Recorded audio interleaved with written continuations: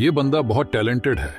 और अपने टैलेंट का यूज करके महीने का लाखों कमाता है रियल में ये वाटर इंक आर्टिस्ट है जो वाटर कलर का यूज करके इस लिक्विड पर ऐसा आर्ट बनाता है जो दुनिया में सबसे यूनिक होते हैं और वन पीस होते हैं जिसे यह सिंगल कलर और अपने ब्रश का यूज करके इस लिक्विड पर बनाता है